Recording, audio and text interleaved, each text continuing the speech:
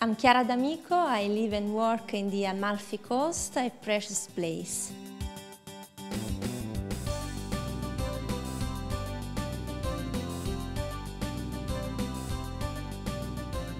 In fact, uh, it has been protected by UNESCO as World Patrimony.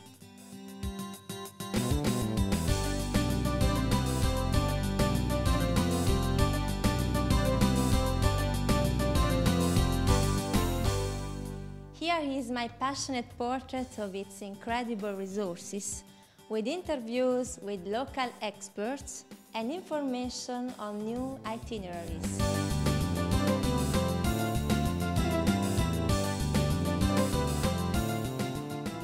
And now look at the best parts of my tourist video guide of the Amalfi Coast, my precious land.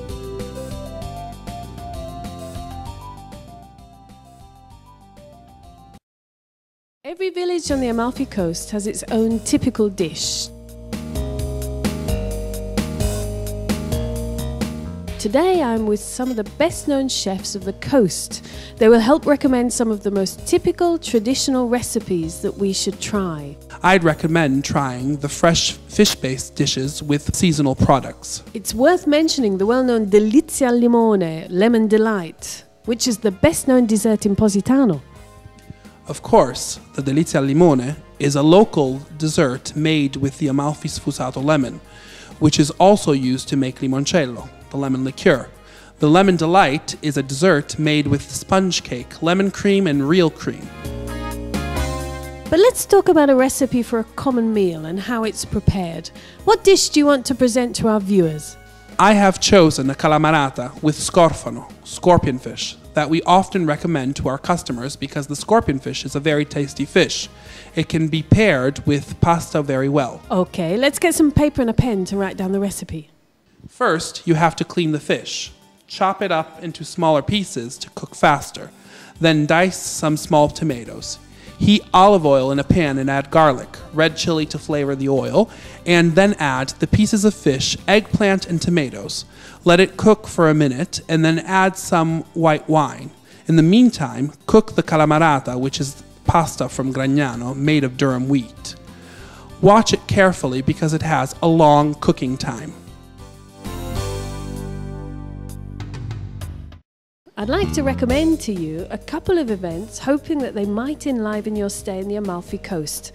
Let's start talking about Gusto Minori, or Taste Minori, the yearly tourist festival mixing culture and gastronomy in the town of Minori.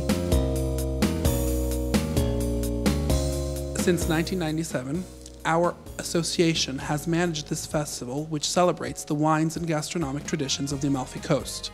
On this occasion, there is a packed cultural program made up of theatre, musical productions, and cinema. We are now here with Hiking Guide, and he'll give you some useful information to visit the most beautiful paths on the Amalfi Coast. The first path is the famous Trail of the Gods, with marvellous scenery, one of the most spectacular wa- walks in the world. Positano style fashion is a style of clothing design that was created in Positano at the beginning of the 50s. It was first launched by a group of ingenious, skillful local dressmakers who elaborated a style that is still well known and much appreciated all over the world today. First, they used to work with canvas. The handkerchiefs, called macaturi, large pieces of cloth used for various purposes. And after the villas, the natural symbols of Capri, the island of love, the rocks of the Faraglioni. There is a natural hole in the second rock. To notice other examples of Vietri ceramics around the town, you just need to have a look at the local shops. Just to give you an example, if you walk into a fish shop, you may find some Maiolica ceramic panels narrating the work of fishermen. The same happens everywhere in Vietri. Sure, the ceramics of Vietri sul Mare are an age old ceramic making tradition with a distinctive popular flavor.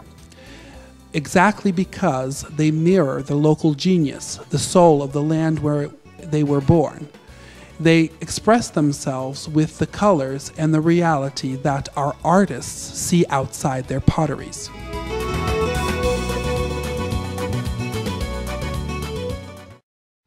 Now I'd like to chat about some of the Amalfi Coast regional specialities. They are truly unique and I think everyone who visits the area should try them.